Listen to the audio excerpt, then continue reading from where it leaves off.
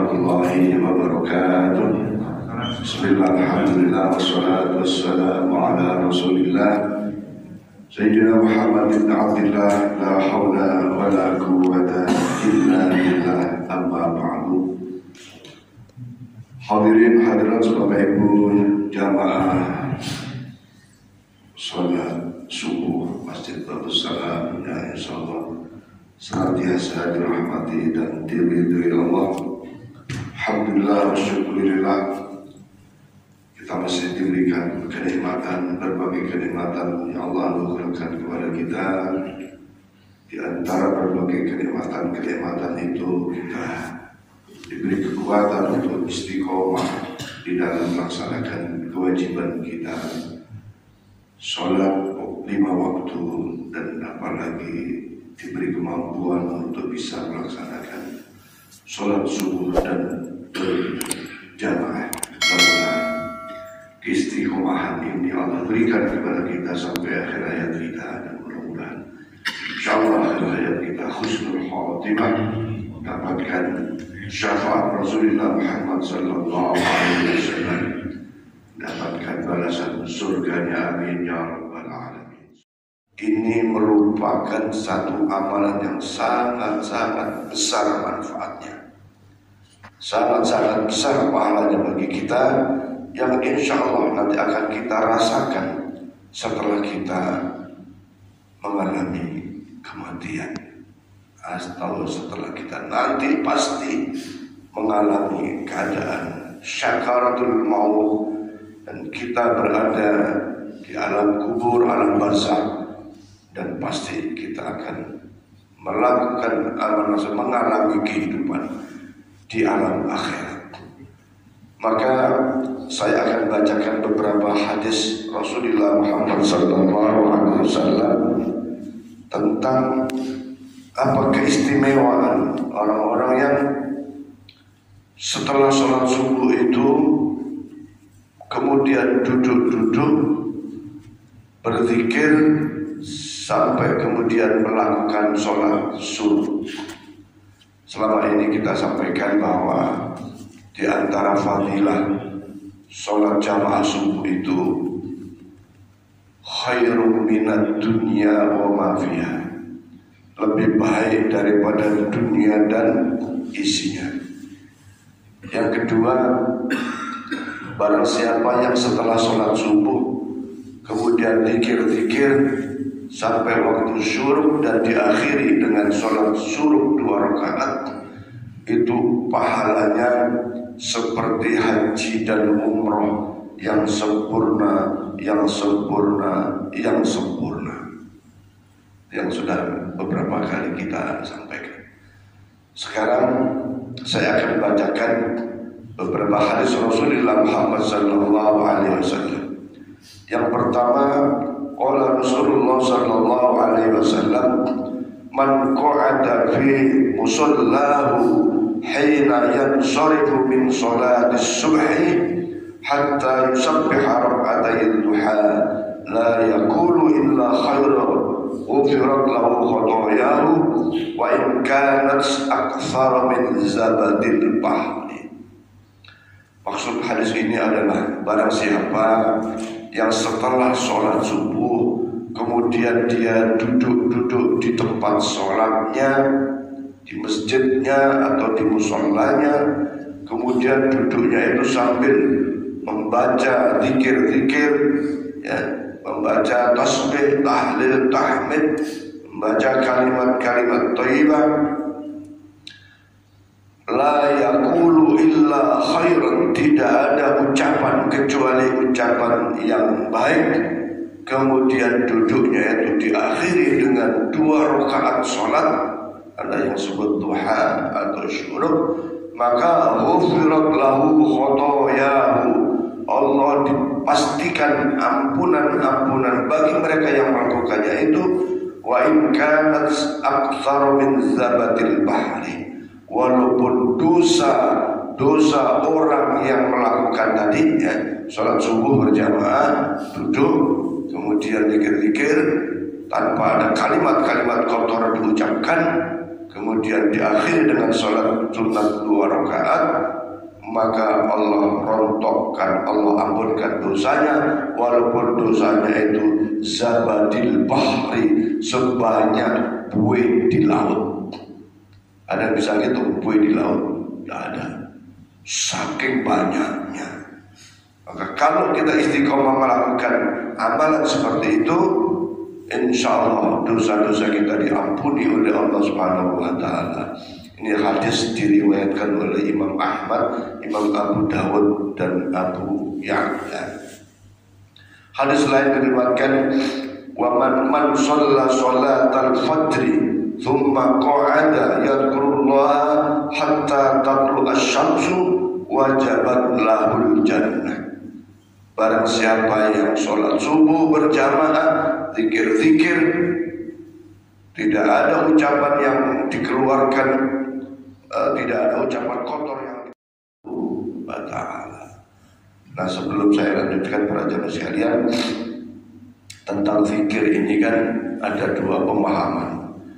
Ada zikir sirri, zikir masing-masing, ada zikir secara uh, berjamaah, ya, zikir se secara zadah, zikir secara uh, diucapkan dengan nyaring, ya, secara berjamaah.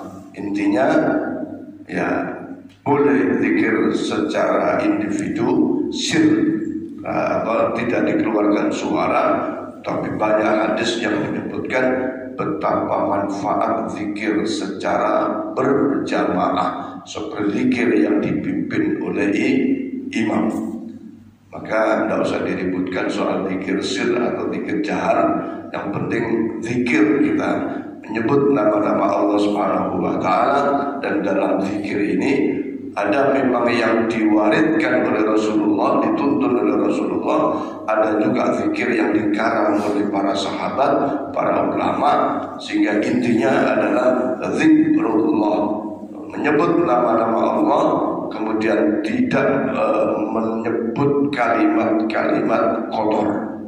Ya, itu. Jadi begitu. Ya. dan memang nyata di masyarakat ada masjid yang zikirnya masing-masing ada banyak yang justru zikirnya berjamaah. Di satu sisi zikir berjamaah secara nyaring itu di antara manfaatnya orang yang belum hafal urutan zikir maka dia akhirnya apal tahu.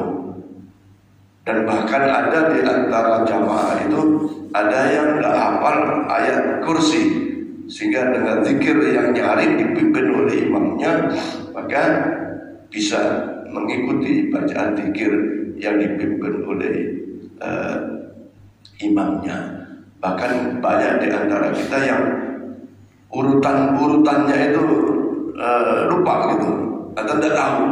Sehingga ya dengan dipimpin zikir secara nyaring oleh uh, imamnya maka uh, akhirnya urutan zikir itu bisa diikuti sampai akhir zikir-zikir yang dilakukan di tempat-tempat atau di masjid-masjid. Kemudian para jemaah sekalian bahwa lanjutan dari pada hadis tadi man sallal fajri thumma dzakara hatta Allah taala hatta tadul asyam thumma shalla ra'ataini aw arba'a raka'atin lan tamassal jildahu an-nar. Barang siapa yang ya, sholat subuh berjamaah kemudian dikir-dikir hatta tatul asyamsu sampai terbitnya matahari summa rakaat ini kemudian sholat dua rakaat au arba' raka'atin. Atau sholatnya empat rakaat. Ya, sholatnya empat rakaat. Eh, jadi boleh dua boleh juga empat maka lan tamassa jildahun jasadnya tidak akan tersentuh oleh api neraka. Luar biasa para jemaah sekalian keistimewaan umat Muhammad sallallahu alaihi wasallam yang mana manakala bisa mengamalkan amalan sholat subuh berjamaah dan zikir-zikir sangat besar, sangat luar biasa keistimewaan dan pahala yang akan diberikan oleh Allah Subhanahu wa taala. Mudah-mudahan saya dan kita semua selalu istiqomah ya, istiqomah di dalam sholat jamaah, apalagi sholat subuh yang luar biasa fadilahnya dan setelah sholat jamaah kita ikuti dikir-dikir yang dipimpin oleh imam di masjid kita. Alhamdulillah para jemaah sekalian, ya ini Allah beri bimbingan. Ya. Kita lihat zikir di masjid kita, di antara yang saya ingin sampaikan adalah kalau sholat maghrib zikir ada zikir istighfar yang 60 kali atau 70 kali itu seperti zikirnya seperti istighfarnya Rasulullah Shallallahu Alaihi Wasallam Rasulullah tak pernah kurang dalam beristighfar itu antara 70 sampai 100 kali dan Alhamdulillah di masjid ini dilakukan di masjid lain nyaris nyaris tidak ada membimbing jamaahnya dengan istighfar 60 70 sampai 100 kali. Di masjid kita ada maghrib dan ada subuh. subuh. Yang kedua, di masjid kita Allah bimbing dengan membaca Sayyidul Istighfar, maghrib dan subuh. Ya. Astaghfirullah Allahumma anta rabbi la ilaha illa anta khalaqtani ala abdika wa ala ahdika wa wa'adika mastata'tu abu'u laka bi ni'matika wa abu'u bi dhanbi faghfir li fa innahu la yaghfiru illa anta Rasulullah bersabda barang siapa yang membaca sayyidul istighfar muqayyinan dengan penuh keyakinan ba'dal maghrib dibaca di awal malam kalau tahu-tahu dia meninggal pagi harinya maka dijamin dia meninggal dalam keadaan husnul khotimah dalam keadaan syahid. Nah, cuman kita mesti yakin kita mesti dalam ibadah itu punya rojak harapan besar berhusnudon kepada kita eh kepada Allah bahwa kita ingin wafat syahid husnul khotimah dan wafat kita ini seperti mimpi. Seperti mimpi. Kan kita nggak pernah nggak pernah merasakan kematian ya? Nggak pernah kan mudah-mudahan walaupun mungkin matinya ditabrak naudzubillah. Matinya di pinggir jalan naudzubillah. Apalagi kalau wafatnya di masjid secara fisik berada di masjid rohnya sangat-sangat menyenangkan kita rasakan. Seperti mimpi-mimpi indah. Mudah-mudahan seperti itu. Kalau kita di tiap hari pada istighfar 70 100 kali. Kemudian sayyidul istighfar yang kedua insya Allah setiap zikir-zikir subuh istighfarnya sama 60 70 kemudian dibaca sayyidul istighfar Kata Rasulullah SAW, barang siapa yang membaca Sayyidul Istighfar di pagi hari, tahu-tahu siang hari, sore hari, malam hari meninggal, insya Allah dalam keadaan husnul khotimah dan wafat dalam keadaan syahid. Mari kita istiqomah membaca Sayyidul Istighfar itu dan istighfar itu setiap hari, setiap pada sholat. Insya Allah pindah kita dari dunia ke alam akhirat dalam keadaan yang sangat rohatan min kulli syar. Berhenti dari keburukan berhenti dari kesulitan berhenti dari eh, hal-hal uh, yang tidak menyenangkan. Artinya apa? Kita awali wafat itu dengan kesenangan-kesenangan dan kebahagiaan para jemaah sekalian kemudian Alhamdulillah di masjid kita terbimbing zikir-zikir ba'da salat. Saya bacakan hadis Rasulullah sallallahu alaihi wasallam. Hadis ini diriwayatkan oleh Imam Ibnu Sini. Rasulullah bersabda, "Man qala ba'da al-fajr thalatha marratin wa ba'da al-asri thalatha marratin." Ya. Barang siapa yang membaca zikir Ba'da sholat subuh tiga kali Kemudian ba'da sholat asar tiga kali Apa zikirnya? Dan ini dibaca di masjid kita Dibaca oleh imam kita yang diikuti oleh para jamaah Apa yang dibaca? Astaghfirullahaladzim Alladzi la ilaha illa huwal hayyul qayyum wa atubu ilaih Ya kita baca kan? Astaghfirullahaladzim Alladzi la ilaha illa huwal hayyul qayyum atubu ilaih Kufirat adu dunubahu wa in kanat misla zabadil bahri. Allah akan ampuni kufirat dihapus dosa-dosa kita Anuhu dulu bahu ya. Dihapus dosa-dosa kita. Wa in kanat misla bahri. Walaupun dosa kita itu seperti buih di lautan. Masya Allah. Ya, kita baca deh imam-imam. Astaghfirullahaladzim. Alladzi la ilaha illa huwal hayyul qayyum wa atubu ilaih Astaghfirullah ya Allah Ampuni dosa-dosaku ya Allah. Al-Azim Dosa-dosaku itu yang sangat-sangat banyak. Sangat-sangat besar. Ya. Atau Astaghfirullahaladzim Allah, Allah Ampuni dosa-dosaku ya Allah. Allah yang maha agung. Alladzi la ilaha illa wal hayyul qayyum yaitu Allah yang alladzi yang la ilaha illa yang tidak ada zat yang wajib yang tidak ada zat yang hak yang wajib disembah illallah. Dan Allah itu huwal hayyul qayyum. Dialah yang menghidupkan kita dengan berbagai kenikmatan-kenikmatan fasilitas-fasilitas kehidupan. Al-qayyum yang istiqomah yang bahasa Jawanya itu jumeneng ya qayyum itu yang tegak yang tetap, yang istiqomah, yang konsisten memberi fasilitas kehidupan kita. Maka makhluk hidup itu selalu diberi kehidupan, diberi rezeki oleh Allah. Ya. Bahwa termasuk binatang-binatang yang wama min dabbatin fil ardi illa Allah rizquha wa mustaqarruha wa mustaw wa mustawda'aha semua diberi Kemarin sore ibu Pak saya habis sholat asar di masjid istiqomah. Habis itu istri saya baru sholat. Di samping mobil ada burung gereja. Dia nutup-nutup di terasnya uh, otomobil, uh, kantor otomobil itu tutup.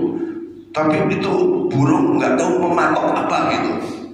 Mematok di lantai apa di teras saya perhatiin perasaan tidak ada beras, tidak ada sesuatu, tapi burung untuk beberapa burung matok, matok makan. Masya Allah, langsung kita inilah Allah yang menghidupkan makhluknya berupa burung, tapi walaupun tidak di sawah, walaupun tidak di toko beras, dia bisa mematok sesuatu yang dimakan, dipatok-patok. Ini bukti bahwa Allah memberi Al-Hayyul Qayyum memberi fasilitas kehidupanku secara tetap, secara konsisten, secara tegak, secara ya mungkin nggak berhenti. Nikmat nggak pernah berhenti Allah berikan kepada kita. Kemudian waktu ilahi aku bertobat kepadamu ya Allah. Nah, maka barang siapa yang membaca kalimat itu Astaghfirullahaladzim La alladzi la ilaha illa wal tiga kali pada sholat maghrib dan pada sholat subuh atau pada sholat asar hufirat an dunubahu wa in kanat mitla zabatil bahri walaupun dosanya itu sebesar buih di lautan. Berikutnya para jamaah sekalian kita terbiasa zikir-zikir dengan kalimat begini. Ini hadis diriwayatkan oleh Imam At-Tirmizi ya. Pada malam Senin lalu saya sudah sampaikan di pengajian malam Senin. Qala Rasulullah SAW Man qala fi duburi salatil fajri Wa huwa thalin ja'al wa thanin rijlaihi qabla an yatakallam la ilaha illallah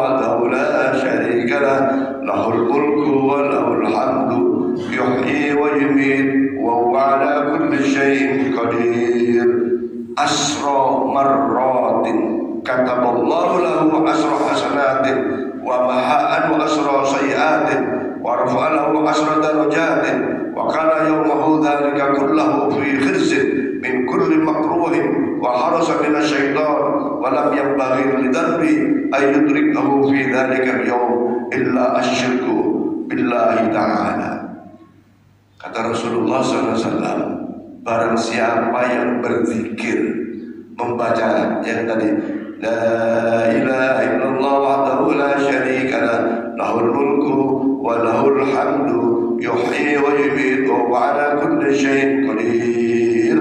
Setelah sholat subuh bacanya zikir setelah sholat subuh.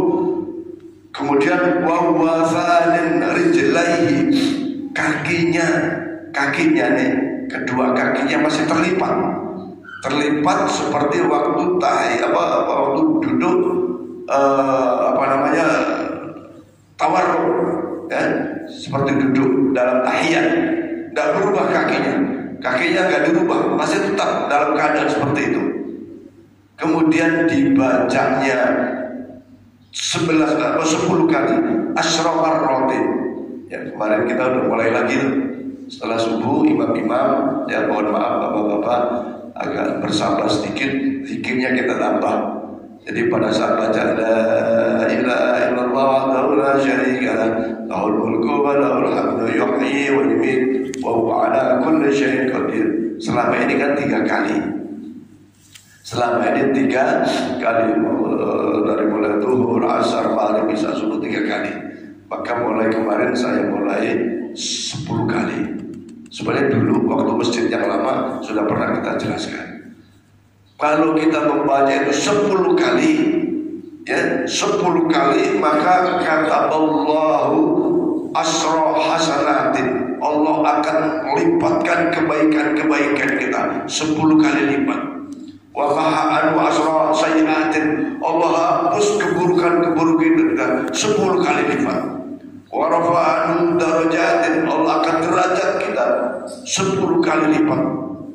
Wa kana yawmuhu dzalika kullu hirzin min kulli makruhin dan Allah akan hindarkan pada hari itu perbuatan-perbuatan dosa. Wa harasa minas syaitani dan Allah akan jaga pada wa kana yawmu dzalikal Allah akan jaga hari itu dari godaan-godaan setan. Maka bayangkan kalau dalam keseharian kita ya kebaikan kita nambah, keburukan kita berkurang, Allah tinggikan derajat kita dan pada hari itu tidak ada perbuatan dosa yang kita lakukan. Bahkan setan menjaga kita dari kemaksiatan, pantas baginya akan menduduki derajat yang tinggi di sisi Allah Subhanahu wa taala. Kecuali kalau hari itu kita melakukan kemusyrikan ya, melakukan kemurtadan keluar dari Islam maka tidak dijamin oleh Allah Subhanahu wa taala sangat besar fadilah pahalanya.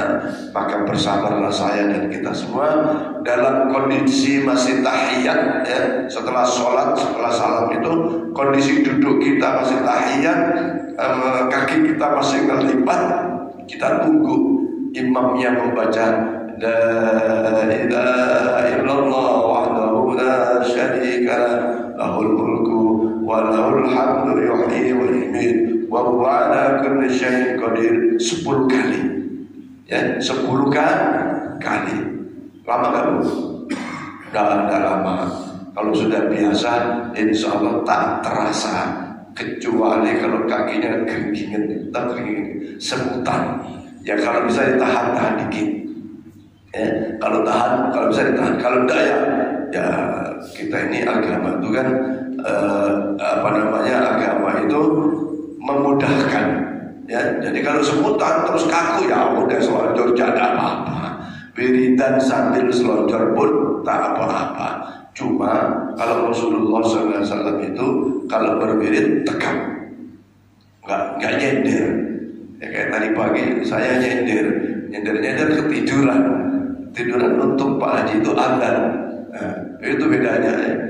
Nah, nyender di tempat tidur tuh tikir-tikir terus tidur. Nah, biasanya gitu. ya, tapi alhamdulillah hari ini tetap hadir, ya, walaupun adzannya sudah telat tadi itu. Tadi malam kita bicara soal adzan akan memberi akan menugaskan orang adzan dengan dengan katakanlah eh, katakanlah ya ibarat gitu ya. Masjid-masjid lain itu pak masjid lain itu muadzinnya satu bulan itu satu minggu dibayar 450 ribu. Bapak lihat di masjid Jariah kenapa betapa pentingnya muadzin dan kita buktikan kalau masjid ini duhur tidak ada yang azan, jamaahnya sedikit. Ada jamaahnya sedikit. Kalau subuh nggak ada yang azan, banyak yang siangan. Ya, atau yang siangan kan? Ya, sama dengar azan baru baru bangun ada yang begitu dan banyak. Ya, dan ada yang kebiasaan menunggu. Dari dulu saya itu nunggu kalau mau ke masjid tunggu pasal bikin azan zaman dulu ya azan. Sekarang nunggu Haji Suradi nggak ada nih telat adanya. Ya. Kebiasaan itu memang kadang-kadang luar biasa merubahnya. Jadi ada masjid itu saking memperhatikan waktu sholatnya Ya ada itu kan bagian dari ibadah tanda waktu masuknya waktu sholat dibayar. Ada anak muda atau yang ada. Bayangkan muadzin saja satu bulan itu jadi 450 kali 1 juta 800 yang memang masjid itu income yang sedekah itu banyak. Masjid pinggir depan kantor, kemudian yang banyak jamaahnya satu Jumat itu bisa 4 juta dapatnya sumbangannya sedekahnya kota amalnya ada yang 6 juta ya. Kalau masjid kita masih rata-rata satu juta setengah juta setengah itu rata-rata. Itu pun kalau udah hilang kemarin hilang penting eh Nah, tapi apalagi masjid kita masih bangun. Satu periode ini, satu periode kepengurusan itu dalam rangka masih menyempurnakan bangunan-bangunan, ya, menyempurnakan bangunan. Insya Allah nanti setelah periode kedua kepengurusan maka kita berupaya untuk uh, memakmurkan masjid dengan berbagai kegiatan dan perawatan perawatan perawatan tentu saja biayanya tidak sebesar membangun ya. Karena masih TPA dan madrasah diniyah. Kalau Pak Tohir kemarin bilang akhir tahun 2002 selesai, saya bilang enggak, ini target harus dicepatkan. November harus selesai. November kita berdoa kepada Allah selesai November. Tinggal sedikit kok. Tinggal jendela pintu itu cuma 17 juta. Kita berdoa kepada Allah datangkan. Ada nanti yang menyumbang.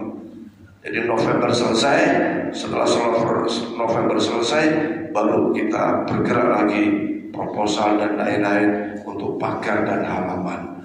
Sehingga setidaknya uh, awal-awal tahun 2023 pagar dan halaman sudah dikeramik, pagar sudah bagus, maka April 2023 akan ada peresmian secara seremonial oleh gubernur kita, gubernur Kalimantan Barat. Insya Allah komplek kita menjadi image-nya sangat besar, sangat baik.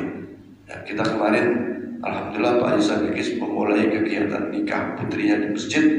Saya lihat suasananya nyaman, enak dilihat. Komentar orang banyak, komentar orang luar, termasuk Pak Penghulu ini. Pak Penghulu ini, waduh, Masya Allah masjidnya luar biasa nih. Dulu setiap dia ke sini ke komplek nih, istrinya ngajar di warga kompleks ini. Pak Pak penghulu itu nidurin anaknya di masjid kita, masjid yang lama itu. Saya dulu begitu berapa hari, eh berapa kali begitu Pak Ustaz. Eh sekarang masya Allah kayak masjid luar negeri katanya. Ada ada pengurus masjid Al Maulidiyah juga begitu Pak. Ini dulu gimana bikinnya? Siapa yang arsiteknya? seperti itu. Artinya nilai-nilai positif di komplek kita sudah bagus. Nilai-nilai positif di masjid kita, alhamdulillah. Ya, nanti boleh bapak ibu punya anak perempuan menikah di masjid dijamin halal tanpa biaya. Tapi alhamdulillah yang punya rumah pun sedekah juga untuk masjid. Gitu. Jadi seperti itu dan pembangunan terus disempurnakan sehingga insya Allah setelah selesai menara sudah selesai cuma rangkaian di bawahnya belum. PTIBA dan Madrasah ya mudah-mudahan November selesai. Setelah itu kita bergerak lagi untuk cari duit uh, rapikan kita punya pagar masjid dan halaman. Halaman akan keramik semua. Halaman akan dikeramik semua sehingga insya Allah masjid kita menjadi masjid indah. Kepala desa Pak Musa bilang Pak Ustadz Eh, waktu saya khutbah di masjid Pil itu masjid Muhajirin. Kira-kira boleh nggak? Masjid Muhajirin dijadikan masjid raya uh, kubur raya? Wah ya, kayaknya sih mesti rapat dulu pak. Saya bilang gitu. Kan masjid lain banyak pak kubur raya. Ada masjid Darun Naja ya, dan lain-lain. Tapi ngomong ke saya waktu peletakan kartu pertama masjid Al Muhajirin oleh Pak Pak Gubernur Pak Musa bicara saya begitu. Saya walaupun ketua harus saya bicarakan dulu Pak dengan pengurus yang lain, dengan penasihat masjid, apa manfaat dan mandorotnya kalau dijadikan masjid raya, ya kan? Nah, tapi itu Pak Musa, Pak Musa kita, kepala Pak Kades kita, dan ya hanya sampai di situ dan kita pun tidak kembangkan ya kan? Masjid swadaya masyarakat terbesar di komplek duta bandara. Nah, para jamaah sekalian bahwa setelah ini semua periode kepengurusan ini selesai ganti pengurus, kemudian baru nanti perawatan dan memakmurkannya dengan berbagai amalan-amalannya. Insya Allah akan memberi banyak manfaat kepada masing-masing kita, pada setiap kita di dalam beramal di alam dunia ini yang insya Allah banyak manfaat bagi kehidupan kita setelah kematian kita. Amin ya rabbal alamin. Kembali kepada zikir maka sepuluh kali kita akan baca la ilaha illallah wahdahu la syarika lah lahul mulku wa lahul hamdu yuhyi wa yumiit wa huwa ala kulli syai'in qadir maka mohon sabar dengan tetap posisi kaki masih dilipat ya Dikir seperti itu sepuluh kali. Insya Allah kita akan mendapatkan pahala yang besar Insya Allah subhanahu wa ta'ala. Untuk itu imam-imam kita mulai subuh. Subuh bacanya sepuluh kali ya. Saya kira demikian para jemaah sekalian apa yang saya sampaikan pengajian pada eh, kuliah subuh pada pagi ini mudah-mudahan menguatkan kita dalam uh, istiqomah sholat subuh berjamaah dan tiga tikir dan ketahuilah zikir-zikir itu tak ada masalah kalau dilakukan dengan jahar dan juga tidak ada masalah dengan nyaring. Yang kedua kita baca dengan sungguh-sungguh istighfar sebanyak 60 eh, kali, 10 kali, kemudian sayyidul istighfar kita baca setiap maghrib dan subuh, kemudian ditambah Astaghfirullahaladzim min kulli dambin nanti wa atubu banyak tiga kali akan menghapus dosa-dosa kita walaupun dosa kita sebesar sebanyak kue di laut. Kemudian baca illallah wa la syarika lah lahul mulku wa lahul hamdu yuhyi wa yumiit wa ala kulli syai'in qadir. Sebanyak 10 kali pada salat subuh. Mudah-mudahan amalan kita diterima oleh Allah subhanahu wa ta'ala. Saya kira demikian dan silakan kalau ada ingin ada yang ingin ditanyakan. Sebelum ada pertanyaan saya sampaikan bahwa nanti kita kerja bakti kita bersihkan di dek apa namanya dek kubah kita ini. Banyak kayu-kayu banyak bebatuan ya.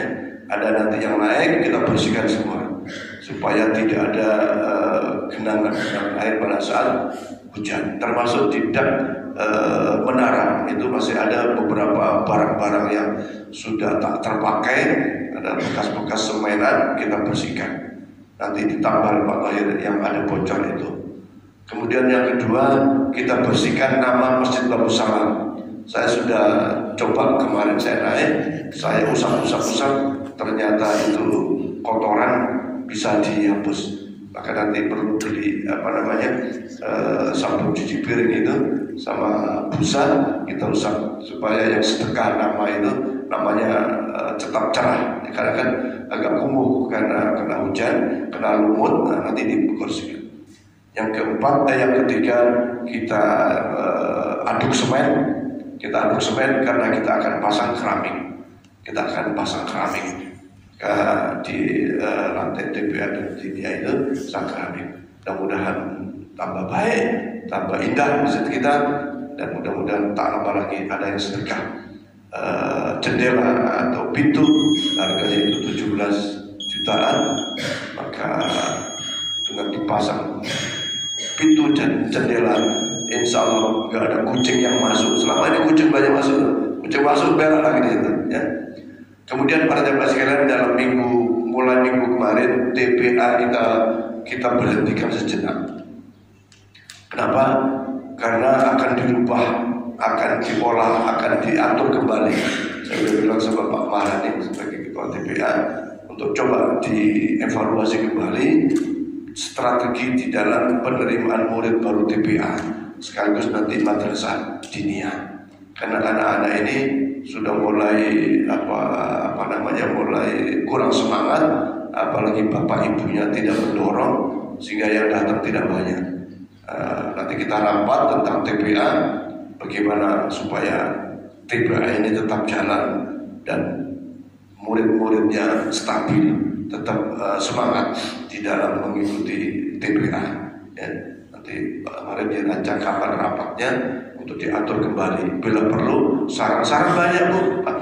Ada yang bilang udah pokoknya pengalaman TPA lain tetap ada ada bayar walaupun sepuluh ribu walaupun sepuluh ribu sebagai bagian daripada penyemangat orang tua kan ada istilahnya ini buat udah bayar kamu tuh udah, udah ikut ngaji misalnya gitu sepuluh ribu kah atau lima ribu kah gitu yang kedua, dibuatkan seragam. Dibuatkan seragam. Nah kita bikin seragam gampang lupa. Tinggal pesan sama nasita apa itu. Ya. Tinggal pesannya gampang, bayarnya gampang juga insya Allah. Ya Pak Yuda nanti anaknya bikin seragam, seragamnya merah-merah kan atau putih-putih atau seragam apa kita buat nanti.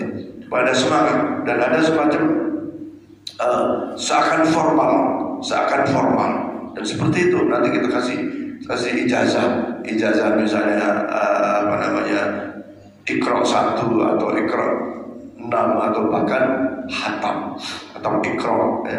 dan intinya akan kita ubah lagi termasuk gurunya. Gurunya kita coba nanti yang guru yang mumpuni. Guru ini kadang-kadang guru pun takut lupa. Anak naik meja dibiarin. Lari-lari sana dibiarin saya bilang sentil itu anak takut pak nanti bapaknya datang marah. Nah, gitu. Guru takut. Jadi kadang-kadang itu anak ngaji itu salah hari salah lagi naik meja duduk di meja. Maksudnya meja, meja bangku bangku. Saya bilang tegur. Kalau anak nggak ditegur, anak nggak tahu kalau itu salah. Nanti bapaknya marah dia begitu. Ya kita harus nggak boleh marah asal marah gitu. Serba salah bukan anak. Ya, tapi anak terlalu dimanja pun tidak bagus juga. Ya. Jadi intinya aturan akan dibuat supaya TPA kembali aktif dan belakangan ini kita tak wakufkan sebentar sementara sampai nanti ada aturan baru di dalam TPA ditambah madrasah dinia apalagi nanti gedung gedung baru ada gedung baru. Ya. Saya kira demikian. Ada pertanyaan Pak? Tidak ada ya? Alhamdulillah mudah-mudahan semua bisa dipahami dan mari kita tutup dengan doa. Eh? Eh, bagus apa bagus?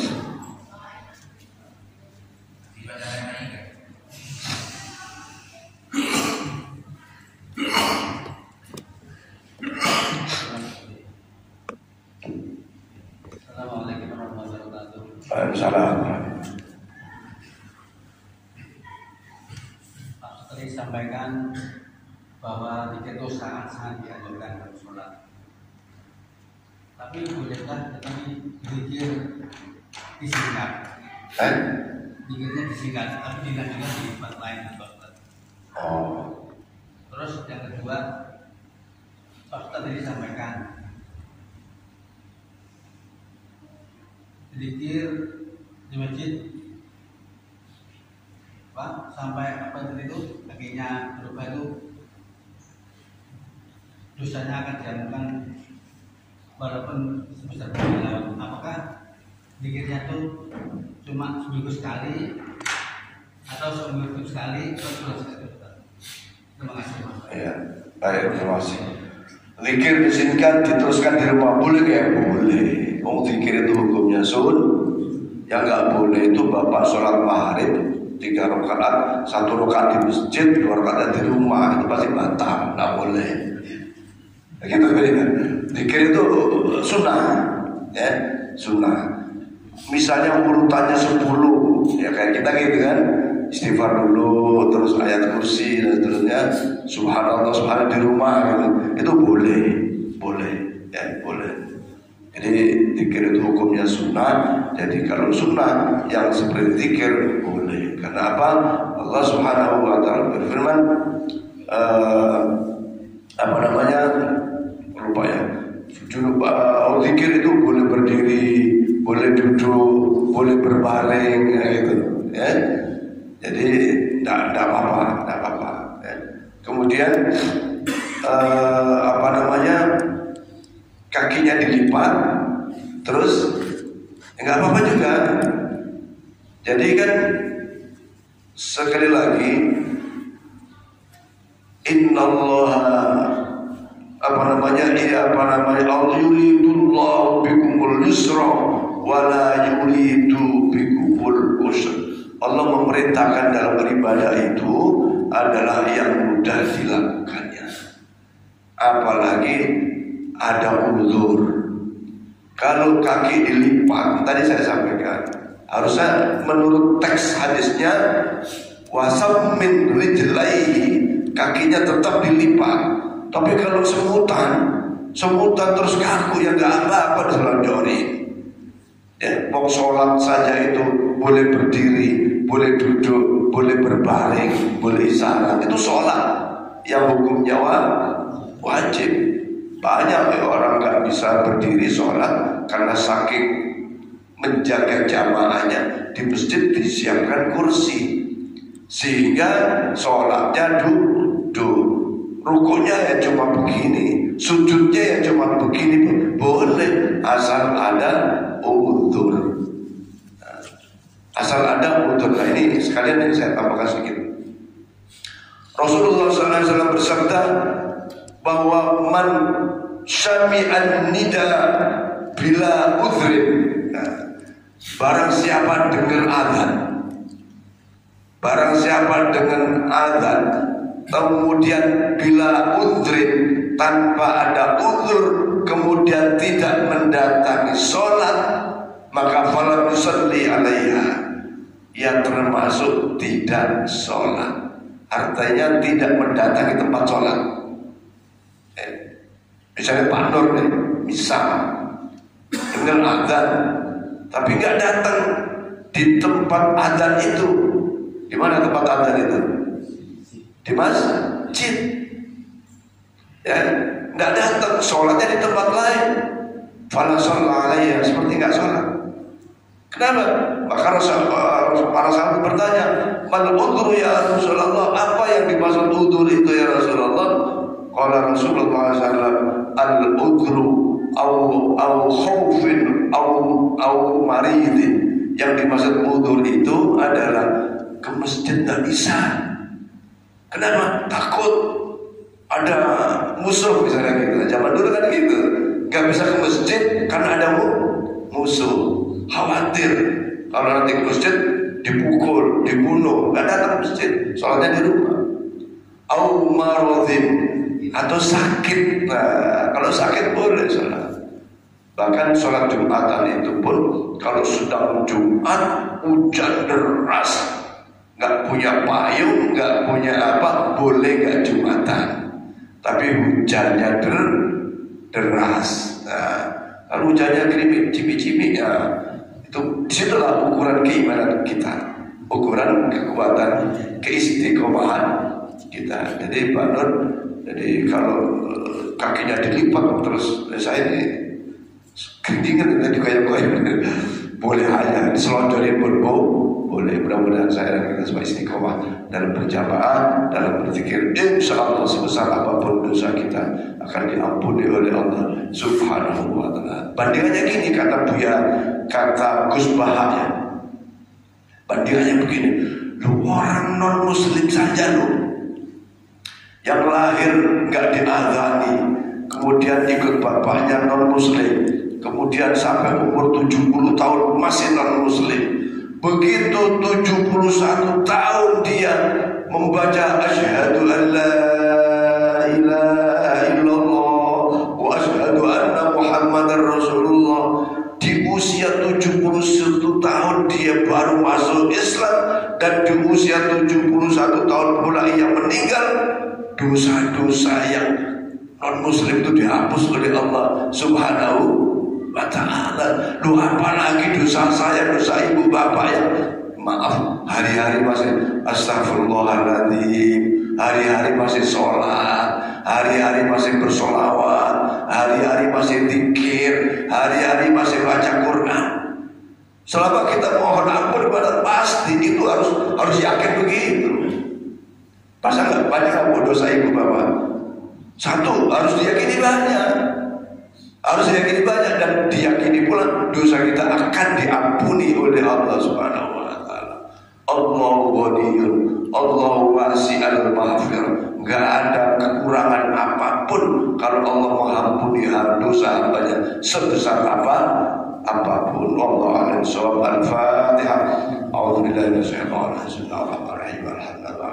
Ar-Rahmanir-Rahim. Maliki yaumiddin. Iyyaka na'budu wa iyyaka nasta'in. المستقيم صراط الذين أنعمت عليهم غير المغضوب عليهم بسم الله الرحمن الرحيم الحمد لله وعلى الله صلى على سيدنا محمد وعلى آل سيدنا محمد عبدك ونبيك ورسولك النبي الأمي وعلى اله وصحبه وسلم اللهم اغفر لنا ذنوبنا ولوالدينا وارحمهم كما ربنا صغيرا اللهم ربنا زدنا علما نافعا وعملا متقبلا ورزقا واسعا مباركا حلالا طيبا اللهم اشر امورنا امور الدنيا والاخره اللهم اشر امورنا امور الدنيا والاخره ربنا اغفر لنا ولاخواننا الذين سبقونا بالايمان ولا تجعل في قلوبنا غير الذين امنوا ربنا انك رب رحيم ربنا هب لنا من ازواجنا وذرياتنا قرة اعين واجعلنا للمتقين اماما اللهم اجعلنا واولادنا واهلنا وذرياتنا وجماعتنا من أهل العلم والخير وأهل العبادة وأهل الصلاة وأهل الذكر وأهل القرآن وأهل عمل صالح وأهل الصداقة وأهل الصيام والحج والعمرة. ولا تجعلنا واياهم من أهل الشهر واهل الخير إنك ولي الخير متفضل بكل خير ومؤتي كل خير.